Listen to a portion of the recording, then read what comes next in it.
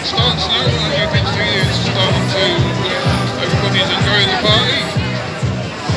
We are at the back of the queue.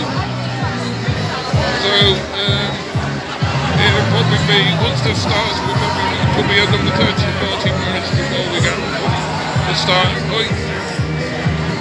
Uh, really big this year. So, hopefully everybody's having a good day. We are going to be adding that in. Again this year the um, parade finishes at the waterfront.